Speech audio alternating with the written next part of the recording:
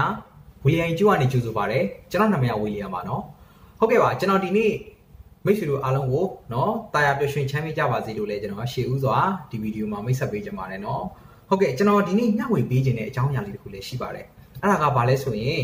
မိတ်ဆွေတို့အတွက်လည်းအကျိုးရှိမယ်နော်ပြောရလို့ရှိရင်လည်းကျွန်တော်လည်းပဲပေါ့နော်ကျွန်တော်သိထားတဲ့အချက်လက်လေးတွေကိုမျှဝေရတဲ့အတွက်ကိုလည်းအရန်ဝမ်းသာပါတယ်ခင်ဗျဟုတ်ကဲ့ပါ အရင်ဆုံးအနေနဲ့ကျွန်တော်ရဲ့ YouTube ကိုလည်း subscribe notif bell ပေါ့နော်ခေါင်းလုံးလေးကိုနှိပ်ပေးထားဖို့တော့ကိုလည်းတောင်းဆိုချင်ပါတယ်ခင်ဗျဟုတ်ကဲ့အဲ့တော့ကျွန်တော်မျှဝေပေးခြင်းတဲ့အကြောင်းအရာကဘာလဲဆိုရင်စီးပွားရေးသမားတွေပေါ့နော်စီးပွားရေးလုပ်ကြတယ်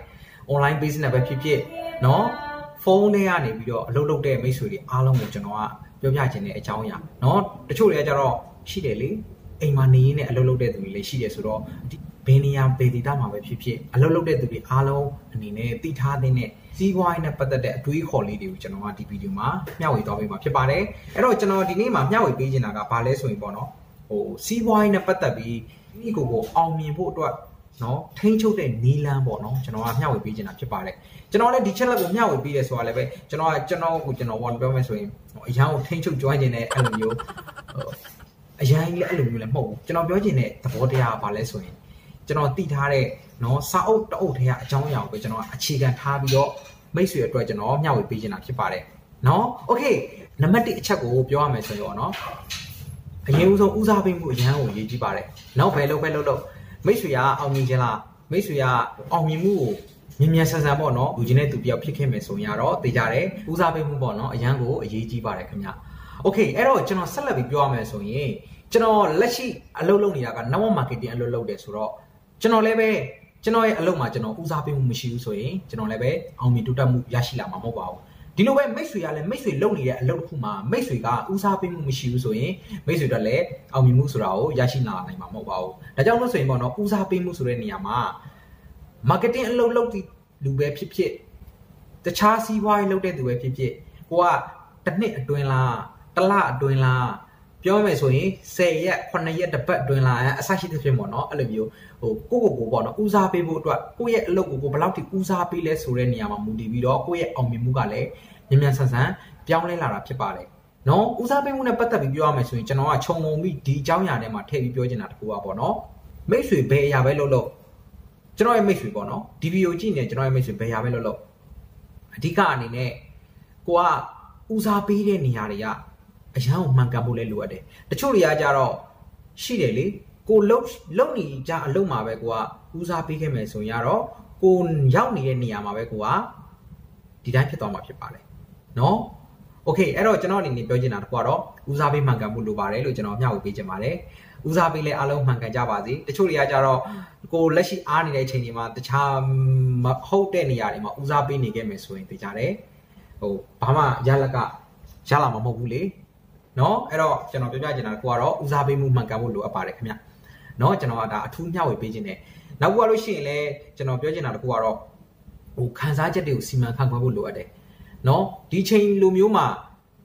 ကျွန်တော်ပြောချင်တာတခုကတော့လူတိုင်းမှာတော့ခန်းစားတတ်တဲ့နှလုံးသားဆိုတာလည်းရှိတယ်ကျွန်တော်မှလည်းခန်းစားတတ်တဲ့နှလုံးသားဆိုတာရှိပါတယ် နှလုံးသားတွေကထွက်လာတဲ့စိတ်ခံစားချက်အကုန်လုံးကိုကိုကစီမံခန့်ခွဲတတ်ဖို့လိုအပ်ပါတယ်။ကိုအောင်မြင်သည်ဖြစ်စေကိုချချုံးသည်ဖြစ်စေတေချာတဲ့ကိုရဲ့စိတ်ခံစားချက်တွေကိုစီမံခန့်ခွဲတတ်မယ်ဆိုရင်တေချာတဲ့ကိုကိုထိန်းချုပ်နိုင်တဲ့သူပြောရလို့ရှိရင်လည်းပဲပေါ့နော်ဟိုခံစားမှုစိတ်ခံစားချက်တွေကိုမြင့်တင်လာနိုင်တဲ့သူဖြစ်မှာဖြစ်ပါတယ်။ဒါကြောင့်မို့ကျွန်တော်ဒီဗီဒီယိုမှာမျှဝေပေးချင်တာက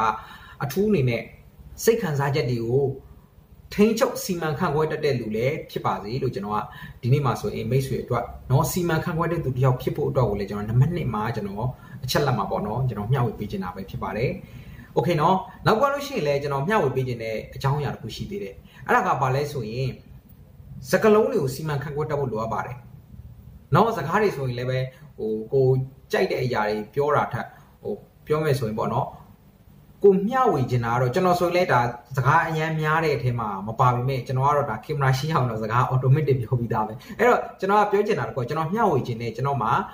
point ရှိတယ်လေကျွန်တော်မျှဝေပေးခြင်းနဲ့စိတ်ရှိတော့ကျွန်တော်ကဒါစကားတွေထုတ်ပါတယ်ဒါပေမဲ့လည်းပြောချင်တာတကူကတော့ကျွန်တော်တို့ရဲ့စကားလုံးတွေကိုစီမံခန့်ခွဲတတ်ဖို့လိုအပ်ပါတယ်ခင်ဗျ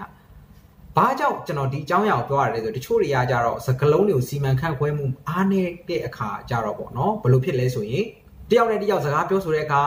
အစင်မပြေမှုလေးတွေရှိလာမယ်နောက်ကလို့ရှိရင်လည်းကိုဘက်ကမှန်နေတော့လည်းပဲကိုကစကားပြောတာမှားယွင်းနေတဲ့အခါပေါ့နော်ကိုယ့်အတွက်အောင်မြင်မှုအနှောင့်နှေးသွားစေနိုင်တယ်လို့မြန်မာစကားပုံတစ်ခုရှိတယ်ဟိုစကားပြောကောင်းရင်လင်းရင်တော့အလက်ကားနော်စီးလို့ရတယ်ဆိုတဲ့စကားတွေလည်းရှိတယ်နော်စကားပုံတွေလည်းကျွန်တော်ကြားဘူးတာဖြစ်တဲ့အတွက်မိတ်ဆွေကျွန်တော်ဒီဗီဒီယိုမှာမျှဝေပေးခြင်းနဲ့စကားလုံးတွေကိုစီမံခန့်ခွဲပါကောင်းတာတွေများများပြောပါနော်မကောင်းတဲ့အရာတွေကိုမပြောပါနဲ့နောက်ကလို့ရှိရင်လည်းပေါ့နော် စကလုံးတွေကိုစီမံခန့်ခွဲဖို့တက်ဖို့ဆိုတာလည်းပဲဒါပို့မှာအတွေ့အကြုံ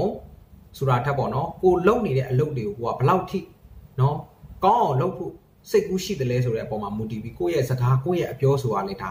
ပြောင်းလဲမှုရှိလာမှာဖြစ်ပါတယ်။ဒါကြောင့်မို့ဆိုကျွန်တော်ဒီဗီဒီယိုမှာပြောပြချင်တာကကိုကလူတစ်ယောက်မှာစကားလုံးတွေကိုစီမံခန့်ခွဲတဲ့သူတစ်ယောက်ဖြစ်ခဲ့မယ်ဆိုလူတစ်ယောက်မှာက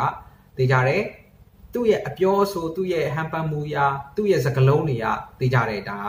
ဟိုစကားလုံးတွေကိုစီမံခန့်ခွဲတတ်တဲ့သူတစ်ယောက်ဒါဖြစ်ခဲ့မယ်ဆိုရင်သူ့အတွက်လည်းကောင်းမွန်တယ်လို့သိကြတယ်မိတ်ဆွေလည်းပဲစီမံခန့်ခွဲတတ်မယ်ဆိုရင်မိတ်ဆွေလည်းပဲကောင်းမွန်တယ်အဲ့တော့မိတ်ဆွေရဲ့အလုပ်မှာမိတ်ဆွေကပုံမူပြီးတော့အောင်မြင်မှုကိုရရှိလာနိုင်မှာဖြစ်ပါတယ်ဟုတ်ကဲ့ပါကျွန်တော်ကတော့ဒီနေ့မှာအထူးမျှဝေပေးခြင်းတဲ့အကြောင်းအရာတွေကတော့ဒီ၃ချက်ပဲဖြစ်ပါတယ်เนาะနံပါတ်1အချက်ကိုပြန်လည်ပြီးအချုပ်ငုံပြီးတော့ပြောရမယ်ဆိုရင်ဦးစားပေးမှန်ကန်ပါစေမိတ်ဆွေအခုလက်ရှိလုပ်နေတာဘာလို့ပဲဖြစ်ဖြစ်မိတ်ဆွေရဲ့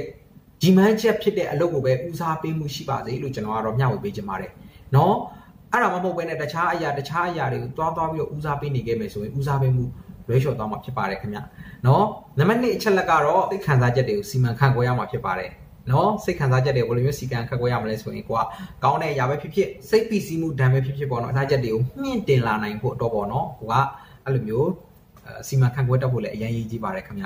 နောက်ကလို့ရှိရင်လည်းစိတ်ခံစားချက်ကိုစီမံခန့်ခွဲတဲ့နေရာမှာအဓိကနေနေရတော့ ဟိုမိမိကိုယ်ကိုမိမိပျော်ရွှင်အောင်ထားဖို့အတွက်ရည်ရွယ်ချက်ပဲဖြစ်ပါတယ်စိတ်ခံစားချက်စီမံခန့်ခွဲတဲ့ဆိုတာလည်းပေါ့နော်ဒါကြောင့်မို့လို့ဆိုရင်